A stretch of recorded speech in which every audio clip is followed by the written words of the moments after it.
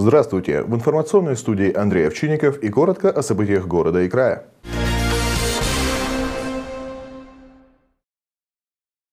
Руководство горно-металлургического комплекса «Дальполиметалл», на руднике которого этой весной дважды произошло обрушение, заплатит штраф в размере 768 тысяч рублей, передает информационное агентство data.ru со ссылкой на Дальневосточное управление Ростехнадзора. Надзорное ведомство в период с 1 по 28 апреля провело плановую проверку на шести рудниках предприятия – Николаевском, Втором Советском, Южном, Силинском, Королевском, где были обрушения, и Верхнем. Также проверили склад взрывчатых материалов компании. Эти объекты относятся к опасным производственным объектам первого и второго класса. Итог проверки оказался неутешительным. Инспекторы нашли более 50 нарушений, игнорировались требования законодательства при проведении взрывных и горных работ, а также эксплуатации технических устройств на объектах объектах. К административной ответственности привлечены само юридическое лицо акционерное общество «Дальполиметалл» и 16 должностных лиц предприятия, включая руководителей. Общая сумма выписанных им штрафов составляет 768 тысяч рублей по статьям 1 и 2 статьи 9 прим. 1 Кодекса об административных правонарушениях нарушение требований безопасности на опасных производственных объектах и при обращении со взрывчатыми веществами на этих объектах. По окончании проверок юридическому лицу выданы соответствующие предписания на устранение выявленных нарушений, а также внесено представление об устранении причин и условий, способствовавших совершению административного правонарушения, сообщили в Ростехнадзоре. Напомним, обрушения на руднике Королевский произошли 17 и 30 марта. В первом случае все находившиеся в штольне рабочие выжили, но два человека пострадали. Один из горняков находился в тяжелом состоянии. При втором обрушении один человек погиб. По факту его гибели было возбуждено уголовное дело. За это предприятию придется нести отдельную ответственность. Скорее всего, наказание будет не только материальным. Виновнику или нескольким виновникам могут назначить до пяти лет тюрьмы. Расследование держит на контроле профсоюзная организация.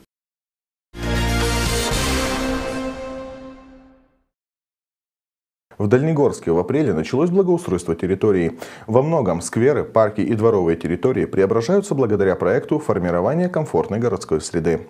В этом году список благоустроенных пространств пополнит 6 дворовых территорий многоквартирных домов, а также две общественные. Несколько объектов будут благоустроены благодаря муниципальной программе ремонта автомобильных дорог. Начало работ в рамках этих программ было запланировано на 1 мая, но на многих объектах началось в апреле, вроде как с опережением графика. По состоянию на 18 15 мая работы ведутся лишь на нескольких из них. На остальных был выполнен демонтаж старого асфальтобетонного покрытия где-то неделю, где-то почти месяц назад. И вроде бы жители должны радоваться, ведь территория вокруг их домов будет отремонтирована, дороги сделаны, но темпы и ход такого благоустройства омрачают эту радость. Микрорайон Горелая наша съемочная группа посетила первым. Здесь ведутся работы по благоустройству трех объектов, в числе которых дворовая территория многоквартирного дома 60 по улице Строительной. Здесь начали демонтаж старого асфальтобетонного покрытия в первых числах мая но так и не закончили. Жильцы дома обращают внимание, что уже больше двух недель рабочие здесь не появляются, а снятие старого асфальта не продолжается. Аукцион на выполнение благоустройства выиграл подрядчик индивидуальный предприниматель Казарян. Сумма контракта составила почти 3,5 миллиона рублей. Следующий объект в этом микрорайоне – ремонт дороги, ведущей к домам по улице Строительной. Рабочих и здесь не обнаружено. Подрядчик, выполняющий здесь ремонт, индивидуальный предприниматель Моисеенко с суммой контракта почти в 14,5 миллионов рублей. Буквально напротив ведутся работы по благоустройству съезда с автомобильной дороги к дому номер 9 по улице Олега Кошевого. Здесь мы можем наблюдать всю ту же картину – разрытая дорога, снятый асфальтобетонный слой и ни одного рабочего – и все тот же подрядчик, индивидуальный предприниматель Моисеенко. Из бюджета потрачено 14,5 миллионов рублей. У вас здесь благоустройство дороги, ремонт происходит. Скажите, доставляет ли неудобства какие-то? Разумеется. Моего кота задавили. Меня чуть тоже здесь от... думала, не так, но тут ерунда это стоит.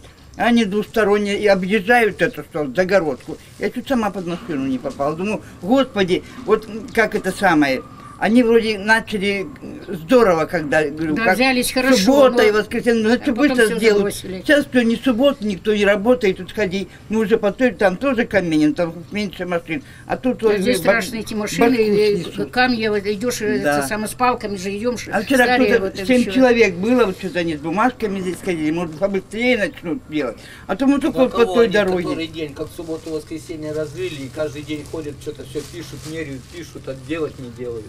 А как давно уже стоит, вот, после того, как асфальт сняли? Так, это они где-то 7 числа, в пятницу, как мы пенсию получали. Да. Это самое, 7 числа, они как с утра как начали, это вот это вот 7 это, мая начали вот это вот. Быстро они так все это сделали. за два дня Грузили, все, сняли, все весь быстро сделали. за два дня. Ну, теперь вот стоит.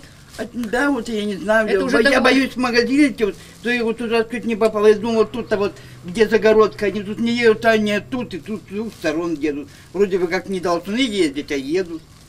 И то есть 7 числа рабочие не появлялись, ничего не было? Не грузит ничего, Ничего тоже, тоже было сразу, и этот э, КамАЗ э, грузит, Ну, так они погружает, так почищает, быстро, все было. ну, Сейчас Всё. только ходят, что-то меряют, все меряют. вчера одно и человек же. было. Лазят, за- замеряют, замеряют каждый, чуть ли не каждый тут день. толку ну, вчера нету. 7 человек было, две женщины и пять мужчин. А как вы считаете, к 1 сентября закончат ли они этот Ну, объект? не, Хотя бы к Новому году сделать. Они ждут, наверное, когда морозы ударят, тогда расценки побольше, вот они и ждут, наверное. Даже ломать не строить. Быстро сломали, а Нет, ну я и будет думала, это думаю, как трюк, раз-два и быстро сделали, а тебя его. Мы же думали, быстро это все сделается. Ну я тоже думал, так Хорошо взялись, и быстро суббота, раз, и воскресенье, Да. ну сейчас быстренько сделают. Далее наша съемочная группа посетила объект благоустройства в районе Универсама. Здесь ремонтируют съезд с главной дороги в сторону улицы Пионерской. Такой оживленный автомобильный трафик и, пожалуй, самая большая проходимость людей в городе не способствует скорейшему выполнению работ. Как и на многих других объектах, после демонтажа старого покрытия рабочих тут не наблюдали. Благоустройство здесь ведет индивидуальный предприниматель Моисеенко.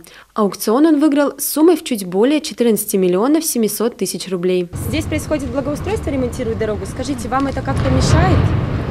Ну, это просто как-то долго делается, а так, конечно, хорошо, что вообще делают что-то, да. Очень рада. Хотим увидеть результат уже скорее. Просто долго делается.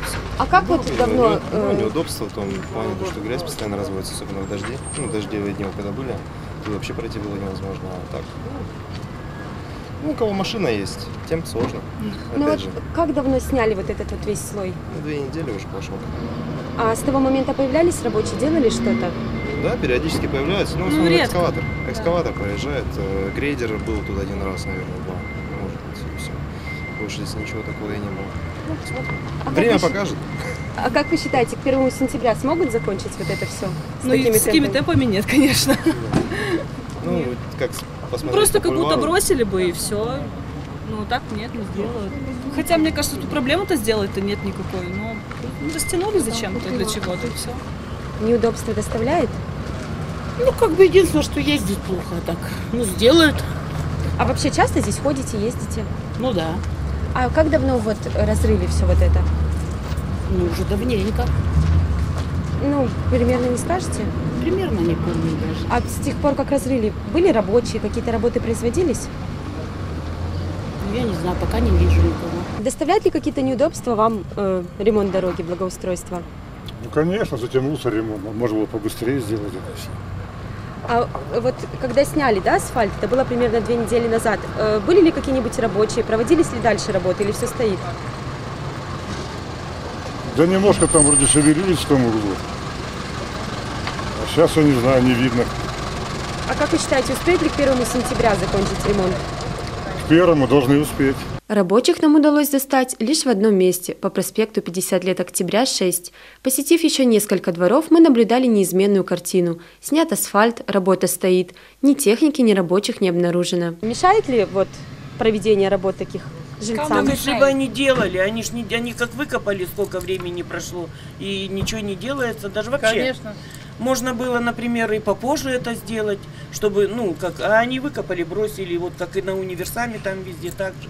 А как давно вот сняли слой асфальта? Ой, когда? В апреле. Месяц уже, наверное. Да нет, месяца нет. В апреле. Вот как спускаться здесь, скажите? Вот старенькие ходят с костылями, да вот детки малые, вот так упадет и расшибется. Да Почему? нет, еще не случай, случая Пока не еще было. не было случаев, чтобы А что-то. вообще рабочие ходят Да здесь? нет, Вообще- никого не видно. Они вот выровняли, откатали катком, и все, и пропали. И я смотрю, знаков нет. И знаков Не, вы не ставили, да? нету, нету. А как вы считаете, успеют ли закончить к 1 сентября? У них такой срок. Нет, конечно. Не знаю. К Новому Ну году там сделать. написано вроде на этой, что до Новому сен- году к сентябрю. сделают. Даже не можем ничего сказать. Э, на- Начали они вот это копали, разрывали активно, да, тут прям такое было. Я говорю, ой, да, наверное, быстро сделают.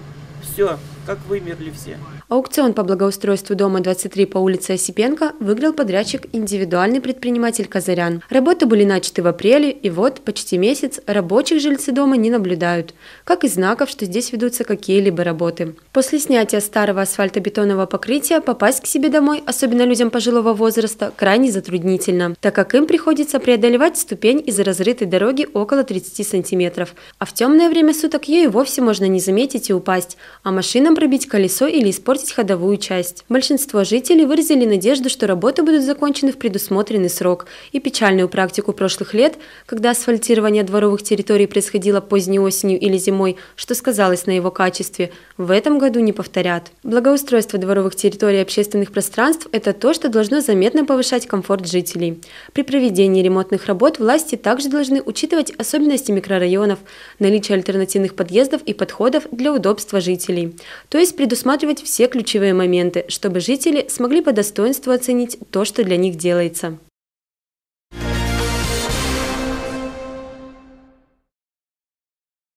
С апреля 2021 года вступили в силу новые правила назначения и расчета пособий на детей от 3 до 7 лет. Подробно об изменениях в утверждении основных требований к порядку назначения выплат рассказала заведующая сектора обработки и межведомственного взаимодействия Центра социальной поддержки населения Дальнегорского городского округа Жанна Симаченко. Постановлением правительства Российской Федерации 31 марта 2021 года за номером 489 внесены изменения в порядок назначения э, и осуществления ежемесячных ежемесячные денежные выплаты на ребенка в возрасте от 3 до 7 лет. А, с 1 апреля 2021 года а, при назначении выплаты для детей в возрасте от 3 до 7 лет вводится трехступенчатая система а, установления максимального размера выплаты. Значит, ежемесячная выплата предоставляется в случае, если размер среднедушевого дохода семьи не превышает величину прожиточного минимума на душу населения – в 2021 году размер прожиточного минимума на душу населения в Приморском крае равен 13 963 рубля. А, стандартный размер это 50%, как и ранее предоставлялось да, на ребенка. А, он получается 50% составляет 7704 рубля 50 копеек. А, далее, значит, если у семьи с учетом 50% не позволяет обеспечить доход семьи до прожиточного минимума, то выплата будет назначена в размере 75%. А, если и это увеличенное пособие в размере 75%, которое будет составлять 11 556 рублей 75 копеек, не позволит вывести семью из числа нуждающихся, то родители будут получать выплату в размере 100%. И от прожиточного минимума, который будет составлять 15 409 рублей на каждого ребенка в возрасте от 3 до 7 лет. Для подтверждения права на дальнейшее получение ежемесячной выплаты необходимо обратиться с заявлением в течение последнего месяца ее предоставления. Специалист рассказала о важности порядка заполнения заявления и сроках его исполнения. Если гражданин обращается к нам с заявлением, э, мы рассматриваем это заявление, максимальный срок 30 рабочих дней. А, так как э, делаются запросы во все организации, а, гражданин обращается к нам через госуслуги, заполняет заявление. Очень просим внимательно заполнять это заявление. Если где-то допустили ошибку, по возможности сразу ее исправить. Если вы видите там в имени э, или там отчество неправильно сразу вы внесли, то поправьте, чтобы оно у вас было. Также после заявления есть э, сведения, которые также просят э, заполнять, определять, то есть ставить галочку там, где необходимо, для того, чтобы специалист производящий назначение, э, ознакомившись с вашим заявлением, если необходимо будет донести какие-то дополнительные документы, э, он пришлет вам также на госуслуги э, уведомление о том, что необходимо донести такие-то, такие-то документы. Если гражданин допустил ошибку в заявлении и ну, невнимательности, где-то там имя неправильное, там отчество указал, дату рождения, то ему также придет уведомление на госуслуги о том, что он должен исправить это заявление и переслать его, отправить также ведомство его дополнительно. В состав семьи также будут включены дети-студенты, которые ранее не учитывались. В заявлении граждане должны указать о том, что в семье имеются учащиеся дети до 23 лет, а также предоставить справку об их стипендии в МФЦ.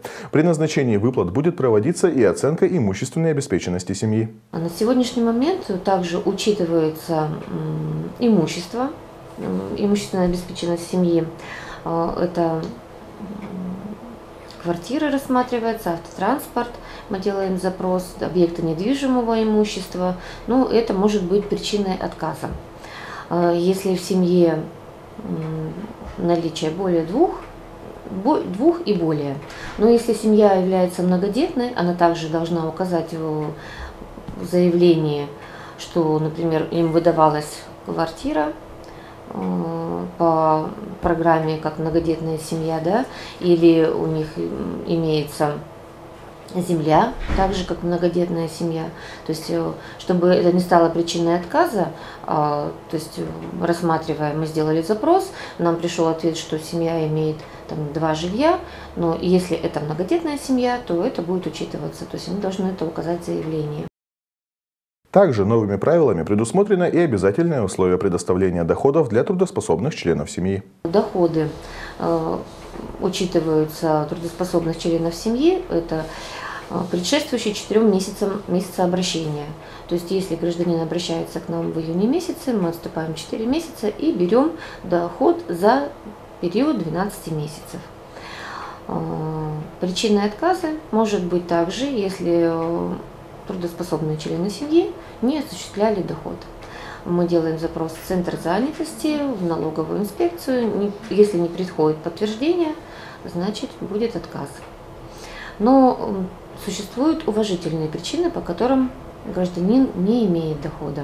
Это, например, мамочка находится по уходу за ребенком до трех лет, потом это обучение по очной форме, по очной форме, если ребенок учится, но не получает, например, стипендию, да? А, длительность лечения свыше трех месяцев, прохождение военной службы. Это все является уважительными причинами. Э, для того, чтобы мы учли эту уважительную причину, также напоминаю о том, что необходимо правильно и в полном объеме заполнить заявление, которое предоставляется на госуслугах.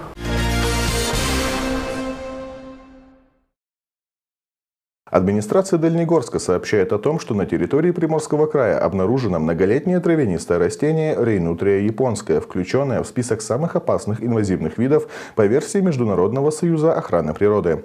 В связи с этим запрещено его распространение на всей территории округа. Чем оно опасно, расскажем далее. Ринутрия японская – это быстро распространяющийся вид растения, странами происхождения которого являются Япония и Китай, откуда она и начала свой поход по миру. Этот агрессор захватывает земли и вытесняет с них местную флору. При этом ринутрия настолько инвазивна, что во многих странах ее распространение сравнивают с эпидемией чумы. И это неудивительно, ведь она вырастает на 20 сантиметров в день а значит способна за короткое время загубить целый сад, поскольку ее побеги просто-напросто лишают соседей питательных веществ и влаги, вследствие чего те умирают. Трава образует собой настоящие заросли. На сегодняшний день рейнутрия занесена экологами в черную книгу растений, которые вредят нашей природе, поскольку угрожают биологическому разнообразию. Доказано, что разнообразие почвенных жуков среди мест ее распространения ниже, чем в естественной растительности. Эксперты утверждают, что до сих пор не было выявлено ни одного известного науке способа борьбы с рейнутрией, стебли которой порой могут достигать до 3 метров в высоту. Что касается корневой системы, она распространяется гораздо быстрее и способна разрушать асфальтовое покрытие, повредить фундамент зданий и коммуникации на участке, а также легкие постройки. Ее быстро распространяющиеся побеги буквально убивают остальные растения, в связи с чем категорически запрещается высаживать этот вид на приусадебных и дачных участках, в огородах и придомовых территориях многоквартирных домов и общественных зданий. В летний период многие садоводы часто используют ринут нутрию для скорого облагораживания садов и клумб, что также является одной из причин ее быстрого распространения. Однако стоит помнить, несмотря на то, что на сегодняшний день существует множество способов борьбы с сорняками, искоренить и контролировать растения невозможно, поэтому оно занесено в список самых опасных инвазивных видов.